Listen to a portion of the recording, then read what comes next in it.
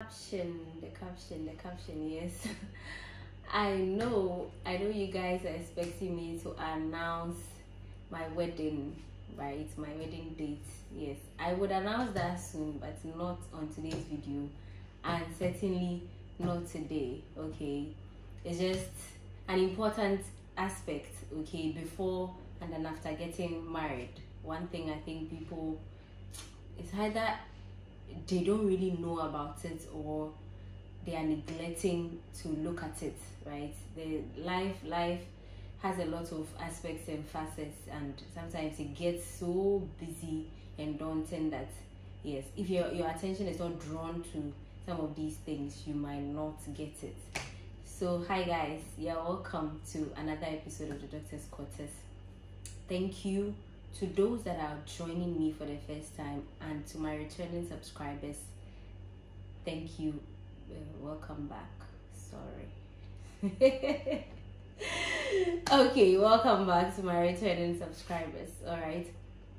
Today we're going to be talking about something that i went through okay?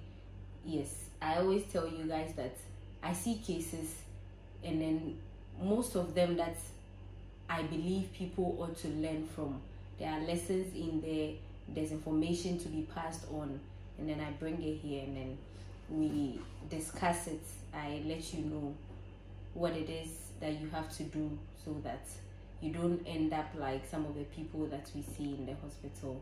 Yes, there's a popular saying that to be forewarned is to be forearmed.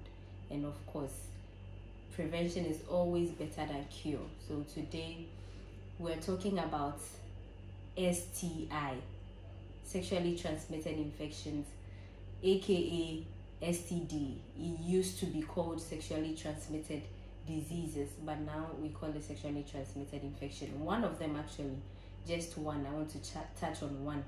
I just want us to be aware that these things are still around. Okay, growing up, it was very loud. Promotion on it, it was on TV. People had programs talking to the youth about them and all that. That we abstain and be careful. But well now i don't really really get it out there like that. It's like sorry guys. I don't really like it's not really being spoken about so much not anymore. I want i just want us to know that it is still very much around and it is causing a lot of havoc a lot a lot and let me just list a few okay infertility, most infertility issues come from some of these STIs, if not treated properly. Sometimes we we contact some of these things and we stay at home, get to a pharmacy, take some medication, and we are fine. Or go to one of these herbal shops, they get us some concoction, and we're okay. I'm sorry, guys. Please, I'm not so well. Okay, so pardon my coughing and all that and then we stay at home and we think it's gone so that is it no they catch up with us later later you're married you want to have kids and you have so many issues only for you to come to or get to a fertility clinic and then they trace it all the way back to some of these STIs. They can also cause urethral strictures. That very narrow tube in your penis that carries the urine out. That tube, yes, when we say there's a stricture, it means it is narrow like this but at a part of it may be kinked so when the urine is flowing and it gets to that part it's not able to because it's closed it's not able to flow then you know you, you can't urinate and all. When you come to the hospital they have to pass a catheter and run several tests financially and all that. And also it can cause hospitalization you mean you spend a lot of money in the hospital, coming in, going out. Some of these things are actually, in fact, most of them are very, very preventable. They are preventable, right? Yes. And so, and finally, finally, people die from these things, right? So, today we want to talk about the STI HIV. Growing up again, it was a big deal. There, it was just awareness campaign all over the TV, they came to our school, spoke to us, and back then it used to be like, okay, it was a disease of promiscuity, especially for the youth coming up. They made it seem like uh, married people were kind of exempted in a way. Growing up, was like, okay, you abstain, either you abstain or you stick with one sexual partner. And it was it was a big deal then, but now we don't really hear about it. The reason why I'm bringing it up, like I said, is because I had an encounter at work, not with one, not with two, three people, and it stood out to me. And so I just want us to take note of one or two things, right? So um it as we know it is sexually transmitted. That is one of the ways that it is contacted. Also there's a vertical transmission where a mother through childbirth gives it to her child. Also when you have any bruise, abrasion on your skin, and fluid from an affected person gets into contact with yours, you can contact it. So that's why we're told that when you go to the barbering salon, you make sure that whatever clipper is used on the person before you is sterilized before it is used on you because you can get it through such means. Health workers, especially because we deal with blood from patients, the cannulation and syringes and all that we can also contact it through such means. And then people who use needles for illicit drug administration those who do this heroin cocaine and stuff they so like in a group you have one syringe and then this person insects it and finish and gives to this person you can get it through that. But today we're focusing on the sexual aspect of it. Sexual way of getting it because should be told about 99% of all the cases are actually sexually uh, transmitted. They get it through sex. That is why I chose the caption that I chose. I said before and after the ring, right? Yes, we're, we're in a hurry, it's fancy. I'm in a relationship and we're having sex, we're enjoying ourselves, and it's so cool and all that. I'm married.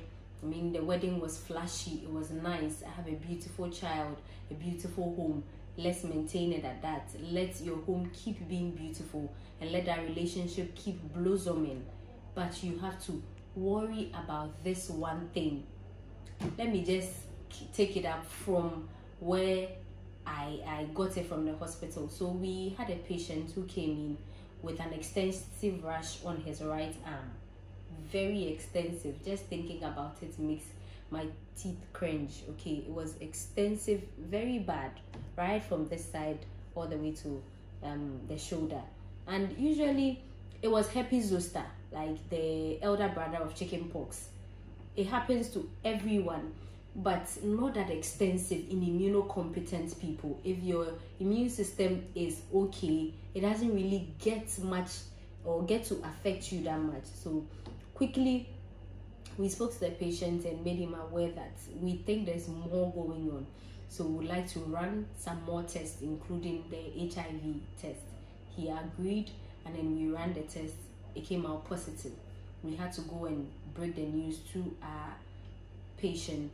And yes, usually, I mean, imagine you watching me right now. Imagine you walking around finding everything, and then you go to the hospital and some tests is run and you are told you have HIV, what is the reaction? Right? You can let me know in the comment section what is what what is your reaction going to be like? I think usually it is a reaction of I'm dead, of pain, of disappointment, of like my world has come to an end. That is where usually we health workers get to know that this person didn't know. Because people actually know they have it and they come and they tell you they you ask them if they they have any condition you have to know about and they say no only for you to run the tests and then it comes out positive. So we approach our patients and people who already know would give you a surprise look. When i tell you or when i'm told i have hiv it is not surprise um, you're expected to show expected to show devastation. So they force a surprise look, and he gave us that. We were like, okay, fine. Told him what we had to do, that we had to run some tests, be sure he was okay to start taking the antiretrovirals, that's the medications against the virus. and he was like okay so we did everything and then we had to let him know that yes because he came with his wife his wife actually accompanied him to the hospital goes home to cook brings it they have kids at home so she'll see to the kids finish and come come and see to him. They will talk a while and then she'll go back. So we knew he was married. So we told him that oh now that you have i mean we've seen and we've diagnosed you're about to put you on treatment let your wife also know you because let's get it clear out there that in no doctor has the right to disclose no health worker doctor nurse whoever has a right to disclose your medical condition even to your mother your child your spouse. No. It is your right and your right alone. So we went to our patient told him that it is in the best interest of your wife and your family that you let her know that oh this is it. Then she comes in herself to then we also check her out. If it's positive then she starts receiving treatment as well right? So we told this man that and guess what? He said no. He doesn't want his wife knowing his condition. So we had to even ask him i mean when was the last time they had sex and all? That i said so they are they actively have sex almost all the time. Do you get it? So we we we did that. So the man said he was not going to let his wife know. And that we should also not let his wife know about it. Yes can you imagine? You know carrying the virus is one thing but knowing and coming in earlier and starting treatment that is that is where the trick is. When you start treatment on time you are like any normal person walking around. You weaken the virus in your system. So it's just what they call the viral load. So your viral load is so low it's not able to cause any condition any problem in you and you are fine and you're walking around. That is why we were speaking to him that he lets his wife know but then he said no. That's not where the whole thing is.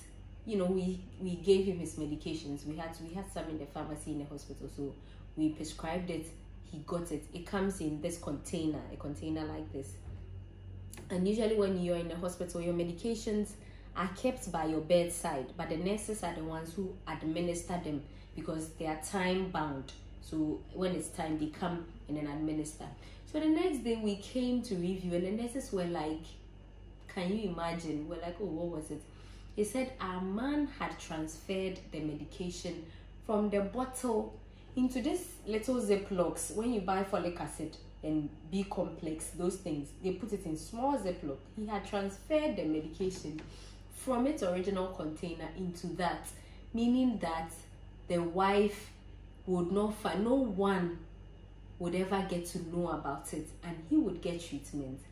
And then what's what happens to the wife? Well that's one. There was a second man same thing. He i think genuinely didn't know he had the virus. But after we told him about it and also told him that it was in the best interest of his wife to also i mean come in and get tested. The man actually even threatened us that should the wife find out during their stay in the hospital or should she find out at all he would sue the hospital or sue us and that there was no way the wife was going to find this out. That was what the man told us right so there's one lady as well whom i saw in my consulting room would actually be talking to her i would interview her virtually you guys know how sensitive this whole hiv thing is and then the stigmatization attached to it so she, I wouldn't show her face. We just call her and speak to her. I saw her young girl. She'll tell her at her age she's less than forty years old for sure, but I don't know thirty what years. So she came into my consulting room and I asked her what was it. She said she was coming for medications. Usually, when people come in that they're coming for their medications, it's either you're thinking hypertension, diabetes, or of course HIV.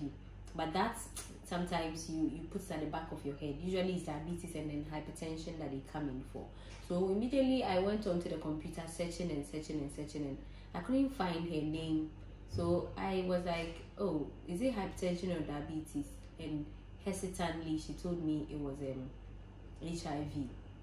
I tried very hard to hide my surprise, but if you know me very well, you know I'm inquisitive. So I, I, I was writing my stuff, and when I went back and I looked at her, I said, I mean, I'm sorry for asking, but if she doesn't mind, how old is she? She told me her age, what work does she do? I asked her all of those things. How did she contact it? That's what we'll be finding out today.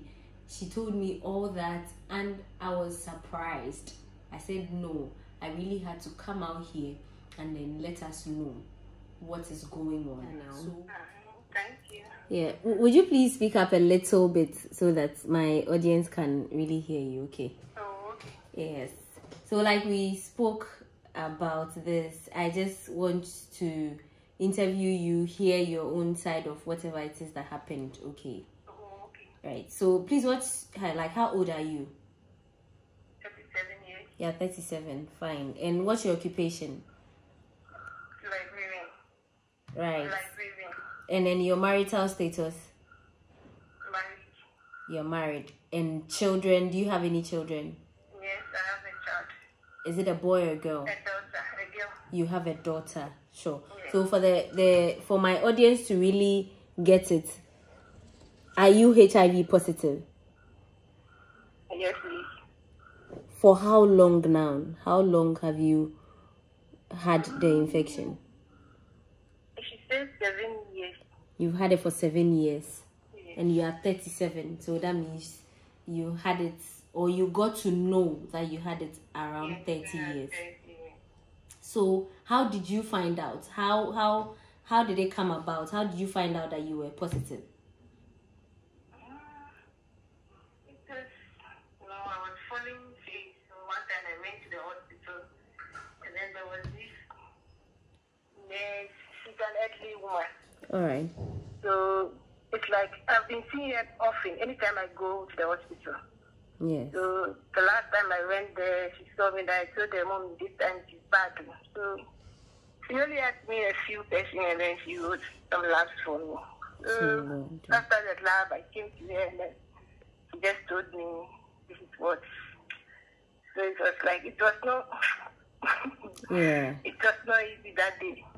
I can imagine. I can. So, so wait. Let me ask. Eh, when you were told, what was your reaction? Initially, I cried. Right. I cried, cried, cried, cried, cried, cried. For hours I was there. I couldn't leave. I I can't say I can imagine. I can I can never put myself in your shoes. Right. Uh-huh. So, do you know how you contacted it? For that, I can't tell. You can't tell. Yes. Okay. So up till now, you don't know how you got it.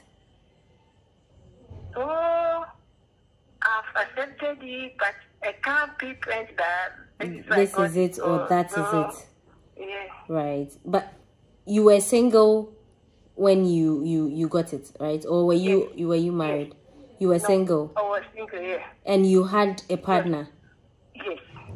Were did you have more than one partners or it was just one partner?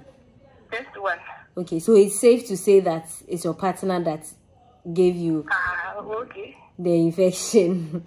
All right. So, I mean, we are almost rounding this up, right? You're married to that same partner, right? Yes. And he is also positive, or he doesn't know. Yes.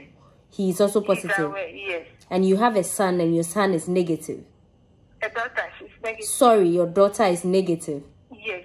You are you are very well, right? Like so, like how has this knowing that you have and living with it, how has it affected your life, either positively or negatively? How how has it affected you? Mm, initially, I was not okay because sometimes, even if I go to bed, you see me putting my head on the table, I will not do anything the whole day. I wouldn't even want anybody to see me, and then I would just, after work, I would just pack my things and then leave. But later, I said, oh, at this thing, there's nothing I can do about it. All I have to do is take my medication. And, and so when I was taking it, I realized I was becoming a child, and then I said, let me accept it that way, and then life goes on. Right. Right, right. So, how is your health now? Mm, so now I'm better. You're better. Yes, You're you're okay, right? I'm okay. Or is it that you fall sick often or something? No, You're okay I'm, I'm okay. since you started on your medications, Yes, and you take them all all, all the time, right? yes, yes. Sure. So you you live like fine and normal and everything. Mm, mm, normal life. Okay. So finally, finally, there are people I'm going to talk to about this. I I have my own side of, you know, or my own advice I want to give to people. That's why I'm interviewing you. But Oh, okay. you living with it, I can advise as much as possible. Okay, I, or as much as I can. But I I don't have the virus, so it will be different coming from you who live with the virus. Uh-huh. So, what advice would you give to people married and married that are going to listen to this interview? If you have any advice, Okay. For those whether single or married, if you don't have it now, then just be careful. right? Protect yourself. Make sure you don't get it. But if you already have it too, that's not the end of your life. Thank Just you. go for treatment and you'll be okay. Sure, sure, sure. Thank you very much, Lily, for coming on to my show. I wish you well and I hope your health remains the same, good, and everything. So I'll talk to you some other time. Thank you. Okay. Right. What I have to tell you, let me just add it on after we've listened to um, her story and all that, is that look, you are responsible for you, whether you're single or you're married. You are responsible for you and you alone. And be coming from a, I mean, medical point of view, and I'm advising us that look, sex is nice. It is cool. When people talk about it they their face lights up. When we go to work and sometimes you have some free time and we're talking about some of these things hey i mean it's not easy but it comes with responsibilities.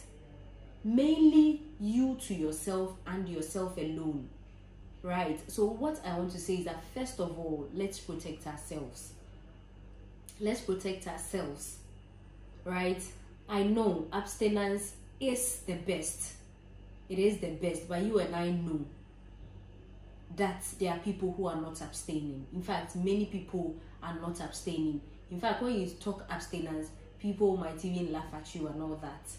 So yes abstaining is the key. It is the best. It is like you won't get that. But to those of us who are not abstaining number one let's protect ourselves. This one is for the singles. As for married people i, I don't know how it is. If your husband or your wife would agree to use a condom i really don't think it works like that. And the bible says that your body is your husband's as well as yours being his. So i mean in marriage i don't know if the condom thing would work. But for the singles let's stop being reckless and endangering our lives. Get yourself a condom. Get yourself a condom and use it. Maybe the other person might not agree. It goes for the, uh, the ladies and then the men. If the man refuses you use it. There are female condoms out there. If you didn't know i'm letting you know there are female condoms. If he refuses use it. So you protect yourself. That is one. And then two occasionally go to the hospital once you're sexually active. This goes for the married and the unmarried. Go let them run a complete sti profile on you. Let them run it.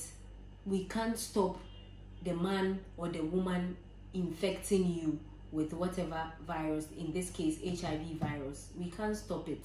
You might use protection right? Especially for those that are married. I mean these things used to be for like singles who were promiscuous and going on and on and about. But today you have a husband and your husband has three side chicks. So it's like you you're you're having sexual intercourse with four people. That is the norm. Your wife might be having sex with other people. So you are actually also having sex with other people and i don't know i mean i know people know their spouses cheat on them and all that. And the only concern they have is that he doesn't respect me that's why he's cheating. Or it's he's breaking my heart.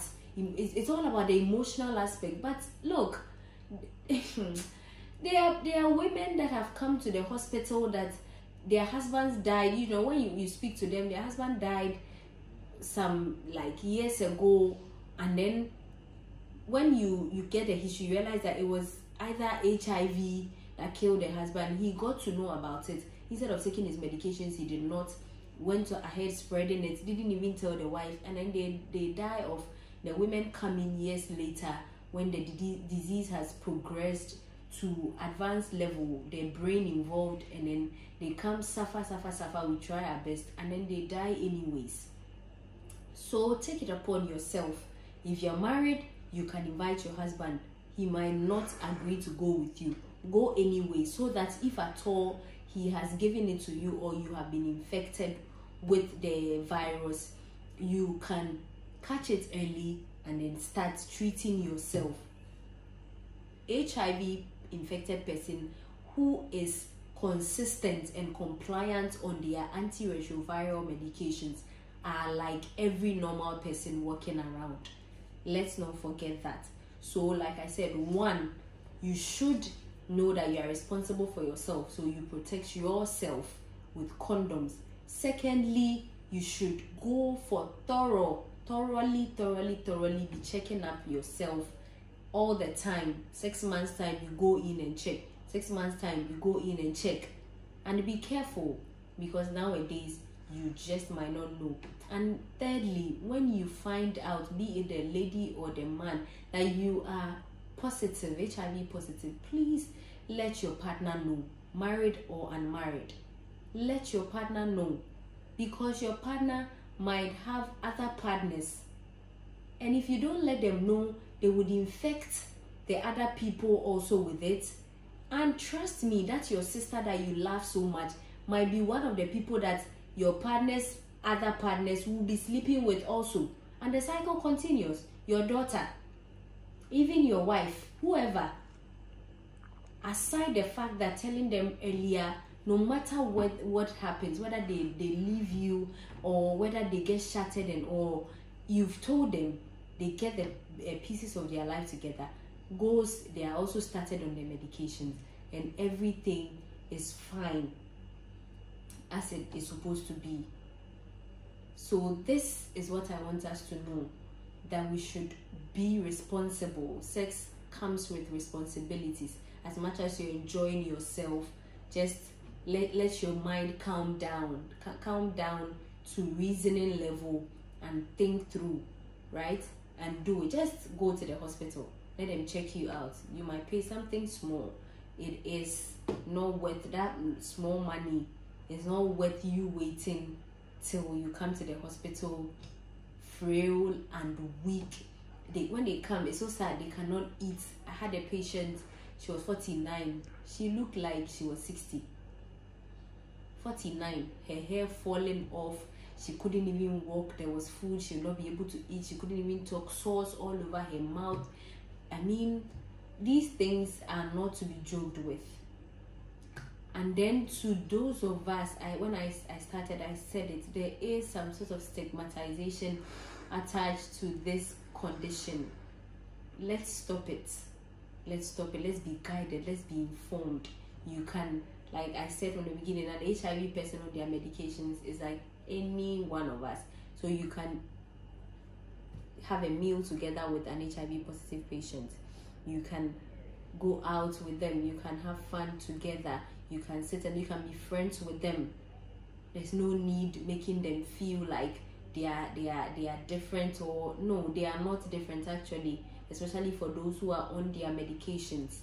They are just like anyone. They don't even need you uh, pity you just have to they are normal people walking around.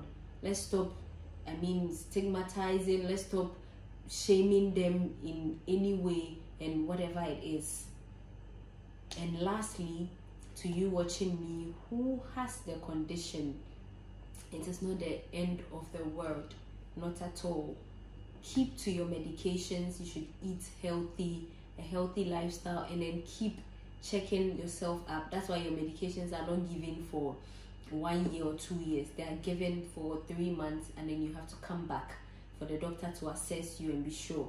Don't get tired of taking the medications. Just like someone with hypertension and diabetes who would be on medications till they die. So keep taking your medications. Do not bother at all. Keep taking them, and then you will be very, very much okay and fine, right? And so we have come to the end of this video. I really hope you find value and take action as to what I have spoken to us about. If you have any questions, if you have any topic you're not clear on, you want me to talk about, you can drop a comment down below and I will visit it and we see how best we can deal with that. You have not hit on the subscribe button, please do that now. And thank you for doing that. And the notification as well, so that you're notified anytime I put it up and share this video. Sharing it is important. Many people don't know some of these things, most people actually. So you share the video, let as many people who need it get it. I'll see you in the next one. Bye.